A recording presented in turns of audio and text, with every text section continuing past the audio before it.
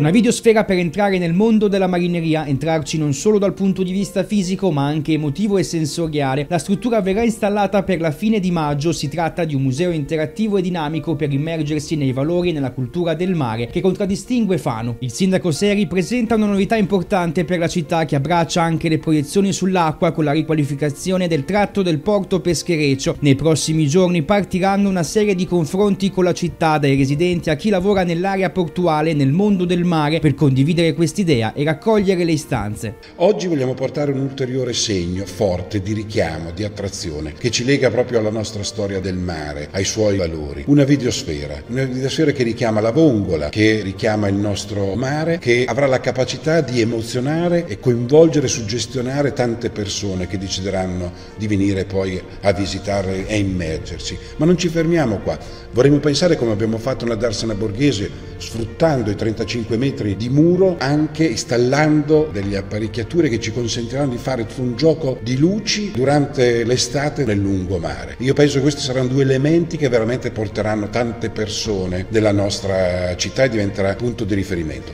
E con la chiusa anche un intervento di qualificazione del borgo marinaro, ma quello sarà per il 2025. Quindi un altro obiettivo per rendere Fano sempre più bella, attraente.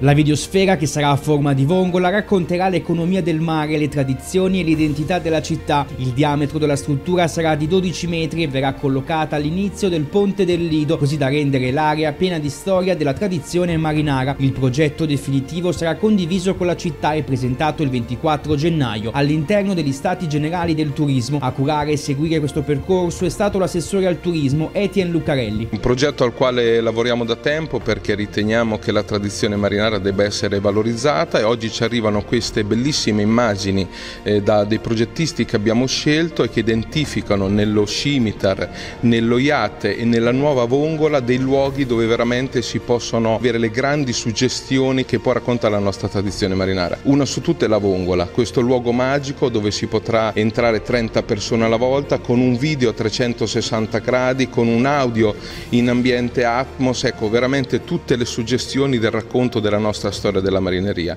Una serie di luoghi, un ecomuseo diffuso che ci farà passeggiare in tutta la zona del porto e che farà vivere tutto il racconto delle nostre tradizioni marinare.